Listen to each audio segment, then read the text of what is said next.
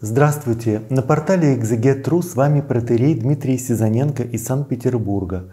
Сегодня мы с вами прочитаем 8 стих 15 главы книги «Исход». «От дуновения твоего расступились воды, влага стала, как стена, огустели пучины в сердце моря».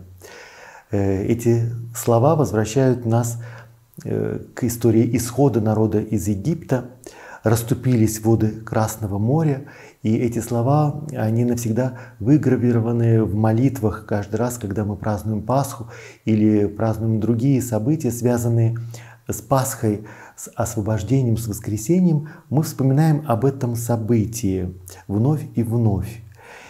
И действительно этот момент, когда воды Красного моря расступаются, было каким-то величайшим чудом. И сегодня в связи с этими словами хотелось бы вместе поразмышлять о том, что такое чудо и как к этому относиться правильно глазами веры, каков смысл чудес. И э, прежде всего давайте вспомним о том, что э, в тот момент, когда э, всадники египтян нагоняют, настигают народ Израиля, сыны Израиля прошли среди моря по суше. Воды же были им стеною, по правую и по левую сторону. То есть представить себе вода, которая обычно всегда занимает горизонтальное положение, вдруг принимает вертикальное положение. И вода возвратилась и покрыла колесницы и всадников всего войска фараонова, вошедших за ними в море. Не осталось ни одного из них. А сыны Израилевы прошли по суше среди моря. Воды были им стеною по правую и по левую сторону то время как для одних э, вода превращается в стены, которые их защищают от э, хаоса и смерти. Для других эти же воды становятся водами смерти. В них колесницы фараона утопает. И прежде всего, конечно, когда мы размышляем об этом, особенно вместе с детьми или с людьми, которые задают встречные вопросы, то очень часто мы ставим акцент на том, что это событие имеет какой-то сверхъестественный аспект, потому что обычно вода течет и принимает горизонтальное положение, и здесь вдруг море разделилось настолько, что обнажилось дно. И тем самым как будто законы физики, законы природы кто-то отменил на время для того, чтобы совершить нечто. И поэтому, конечно, это какое-то сверхъестественное вмешательство, потому что естественные законы в этот момент вдруг приостанавливают свою силу. И это не имеет никакого научного объяснения. Но если прислушаться внимательно к самому повествованию, то можно услышать и другой мотив, и он гораздо важнее. Говорится о том, что Моисей по повелению Бога простер руку, и в этот момент Господь гонит сильный ветер, восточный ветер, всю ночь, так что воды расступились. И здесь как будто дается естественное объяснение тому, что происходит, потому что действительно может подуть такой сильный восточный ветер, который на протяжении нескольких часов, отгоняя воды, может произвести вот такой необычный эффект. Но смысл всего этого, потому что мы же читаем повествование о чудесах не просто для того, чтобы испытывать какое-то изумление, восторг, Э, какие-то чувства, потрясения, но для того, чтобы увидеть в них смысл. Э, говорится э, о том, что на утро Господь возрел на стан египтян из толпа огненного и облачного и привел их в замешательство. И отнял колеса у колесницы их так, что они влекли их с трудом. И сказали египтяне, побежим от израильтян, потому что Господь поборает за них против египтян. И здесь э, больше говорится о какой-то иронии, потому что действительно э, в Пятикнижии очень часто, например, история Вавилонского столпотворения – это история юмористическая. Они рассказываются с иронией, там э, очень жестко осмеивается горделивое название Вавилон, врата неба. Нет, вы не врата неба, вы то место, где образовалось великое смущение и хаос. Там Господь перемешал все. Башни, которую народ э, создает для того, чтобы штурмовать небо, служат ему э, такой лестницы, по которой он спускается, посмотреть, что же здесь происходит. Там очень много юмора и иронии. Точно так же и здесь э, есть гордыня людей и ответ Бога, который приводит в замешательство и постыжает сильных века сего людей горделивых. И дело в том, что основой военной мощи египтян и почему армия египтян была в то время совершенно непобедима, потому что в их распоряжении были кони и были колесницы. И еще во времена Соломона, пять столетий спустя, э, Соломон приводит из Египта э, эти колесницы, за которые платит очень э, дорогую цену, и приводит коней, которые тоже стоят очень дорого. Их покупали на золото. И понятно, что э, та недвижимость, э, та военная техника, которая в руках египтян, она стоит очень дорого, поэтому они ее боятся просто так бросить в море. Именно поэтому они погибают. Мы к этому вернемся, но мне хотелось бы обратить ваше внимание о том, что э, некоторые современные э, ученые пытаются объяснить естественное происхождение этого чуда, потому что, скорее всего, то место, где народ переходил через море, оно не было глубоким. И, скорее всего, э, по этому месту по дну проходил некий горный хребет, который обычно покрыт водой, но иногда при сильном восточном ветре, то он э, выступал из воды.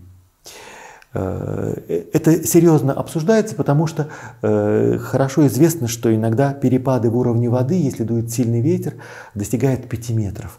То есть вполне может быть нечто подобное совершенно объяснено законам природы. Например, существует свидетельство о том, что когда Наполеон со своей армией входил в Суэцкий э, залив, э, он едва не погиб от внезапного прилива, потому что вдруг начинает дуть сильный ветер, и уровень воды резко повышается, но точно так же он может и понизиться. И так ветер оголил горный хребет на морском ложе, и последствия были драматические, потому что израильтяне, которые шли, в общем, с пустыми руками, они были в колоссальном преимуществе по сравнению с египтянами, у которых была тяжелая колесница. И, понятно, колеса этих колесниц просто увязли в грязи. А наверняка они пытались освободить эти колесницы из трясины, но все усилия приводили к тому, что они лишь погружались все глубже и глубже. Поэтому египетская армия дальше не могла продвинуться, но точно так же она не могла отступить. Э, дорогие колесницы они не решались просто так бросить. И э, в этом смятении они не заметили, что ветер утих, и вода возвращается. А когда они уже это поняли, то было слишком поздно. Они оказались в ловушке. Горный хребет теперь был покрыт морской водой во всех направлениях, и вот этот участок Суши, на котором они находились, уменьшался с каждой минутой. Таким образом, самая сильная, самая непобедимая армия древнего мира была побеждена, и ее победила не другая, более могущественная армия, не противоборство другого народа, но собственная слепота, э, такое сильное рвение захватить беглецов, что они не задумывались над тем, как смогут двигаться на своих колесницах по трясине. И вот перед нами возникает две перспективы, два взгляда на одно и то же событие. Одно естественное, где все понятно с точки зрения законов природы, другое сверхъестественное.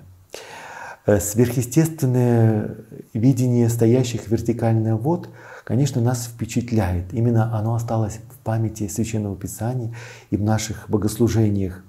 Но не менее Впечатляющим является и естественное объяснение. Сила египтян в действительности сыграла против них, она стала их слабостью. Слабость израильтян обернулась их силой и преимуществом. И нравственный смысл происходящего и э, присутствие Бога здесь, конечно, является э, очень важным преимуществом. Египетская армия, которая упивается своей силой, оказалась слабее самых слабых, а самые сильные оказались сильнее самых могущественных. То же самое случилось однажды и с пророком Валаамом, языческим пророком, который очень гордился своим даром пророчества, свои силы прорицания, но однажды он оказался в такой ситуации, что осел, который видит невидимого ангела, был лучшим пророком, чем Валаам. Поэтому не обязательно чудо должно отменять действие естественных законов природы.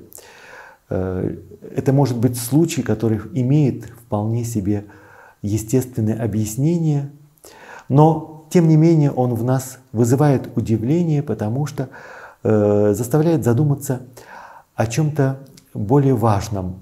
В частности, даже самый закоренелый скептик в какие-то моменты может ощутить божественное вмешательство в свою собственную судьбу. Слабые, кто были в опасности, спасены.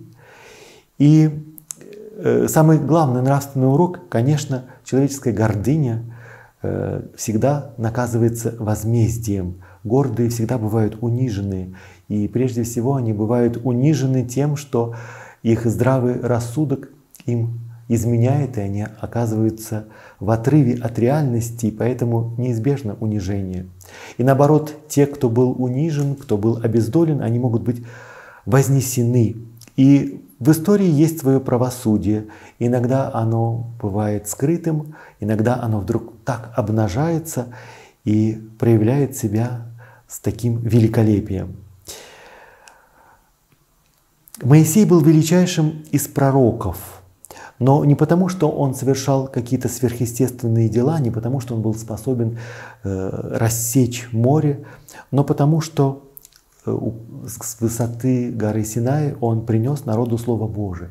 Пророк — это не тот, кто способен творить нечто немыслимые, потому что очень часто какие-то чудеса могут совершаться и с какими-то магическими силами, и поэтому могут иметь совершенно другое значение. Но самое интересное и самое главное во всем этом только то, что за этим стоит Бог. И, может быть, э, таким вот скрытым чудом, но не менее очевидным является красота Вселенной, гармония, которая нас окружает, и сам факт того, что мы существуем, э, это те Э, простые, доступные нам явления мира, которые указывают на какую-то реальность, которая может стоять за этим. Э, Эйнштейн говорил о том, что Бог не бросает кости, Он никогда не играет в азартные игры. Э, потрясающая сложность жизни, красота этого мира, все это являются теми чудесами, которые невидимым знаком указывают на присутствие Бога.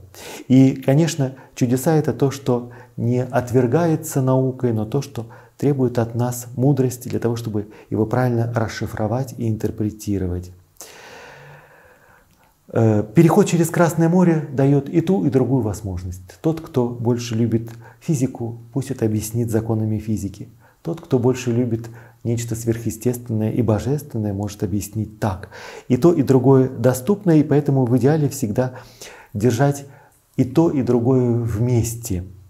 Одно не исключает другого, но, может быть, самый главный урок – это, конечно, урок того, что когда восточный ветер может оказаться чрезвычайно сильным, настолько, что происходит нечто, благодаря чему тот, кто не был непобедим, постыжен в своей гордыне – и все эти события э, остаются как некое напоминание для того, чтобы мы о них не забывали, но прежде всего всегда видели в этом какой-то нравственный урок и какую-то мудрость. На портале «Экзегет.ру» с вами был протерей Дмитрий Сизаненко из Санкт-Петербурга. Внеси свой вклад, оцени, подпишись и поделись этим видео.